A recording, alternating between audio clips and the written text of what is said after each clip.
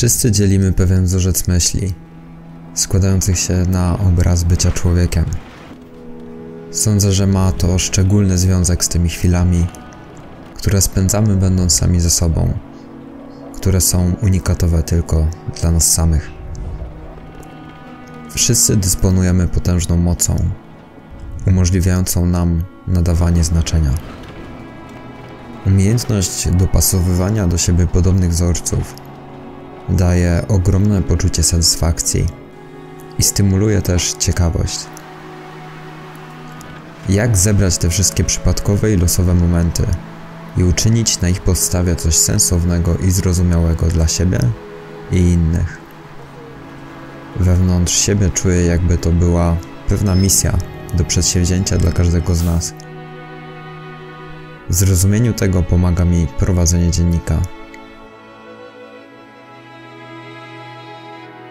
Drogi pamiętniku, czasami życie naprawdę bywa dziwne i zaskakujące. Staram się dbać o to, by wszystko szło swoim tempem. Na wyższym planie wszystko układa się w harmonię, nawet jeśli życie zdaje się być jedną wielką niewiadomą. Czasem czuję się przytłoczony dużą ilością bodźców i dochodzących do mnie informacji. Mam wrażenie, że każdy człowiek pracuje każdego dnia po to, aby być wolnym, dążąc do tego, aby odnaleźć się w życiu. Dostrzegam, jak życie wprawia wszystko w ruch. Każdy szuka swego szczęścia, pragnie zrealizować swe marzenia. Ja również poszukuję tego jedynego uczucia, które paradoksalnie cały czas we mnie jest i dojrzewa po to, by urzeczywistnić się w twórczości.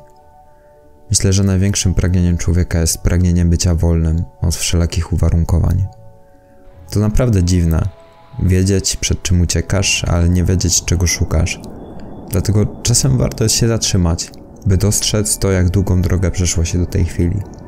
Jak wiele cudownych chwili przeżyliśmy, jak wielu wspaniałych ludzi poznaliśmy i jak wielu z nich nam pomogło. Myślę, że jedną z trudniejszych części życia jest unikanie rozproszeń i skupianie swojej uwagi dokładnie na tym, co sami chcemy stworzyć. Nie da się wszystkiego zrobić na siłę. Po części trzeba zawierzyć swym uczuciom i intuicji. To trudne podjąć decyzję, czym się kierować.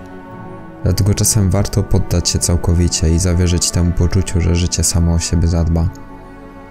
Coraz rzadziej tęsknię za tymi chwilami, kiedy było mi dobrze, gdyż wiem, że w każdej chwili mogą się wydarzyć ponownie. Jeszcze silniej odczuwam miłość do siebie. Teraz jestem całkowicie pewien, że jest to kwestia osobistego zjednania się z życiem. Czasami życie pisze przedziwne scenariusze, które odbiegają od naszych marzeń, celów czy prognoz. Myślę, że często zbyt wiele czasu czekamy na to, aż przyjdzie odpowiedni moment, aż zaznamy tego szczęścia. Zbyt wiele naszej uwagi krąży wokół porównywania się do tego, co robią inni. W milczeniu i głębokim spokoju można choć na chwilę odczuć egzystencjalną ulgę. To źródło naszego bycia, które nie oczekuje od nas zbyt wiele. Drogi pamiętniku, dziękuję życiu na szansę, by móc żyć. Każdego dnia odkrywam siebie na nowo. To niespotykane, jak wiele może się zmienić w ułamku sekundy. Z pustości tego świata wyrastają w każdej chwili nowe rzeczy i nie sposób jest się nacieszyć tym wszystkim. Teraz wiem, że nie muszę znać wszystkich odpowiedzi. Mogę zdać się na los i powierzyć się w jego ręce. Drogi pamiętniku, dziękuję, że tak wiele uczysz mnie każdego dnia. Drogi pamiętniku, drogi pamiętniku, drogi pamiętniku, drogi pamiętniku. Życie to gra pozorów. Każde z uczuć mierza się ze sobą tak, że co chwilę wyskakuje jakaś nowa emocja, myśl czy uczucie. Nic nie jest stabilne, a życie to ciągły chaos. Wymuszanie ciągłego bycia pozytywnym i obsesja osiągania wykańcza wszystkie nerwy.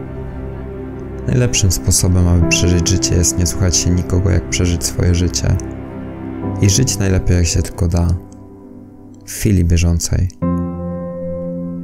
Drogi pamiętniku, żegnaj, bo nie mam już dużej ochoty pisać. Być może któregoś dnia spotkamy się ponownie.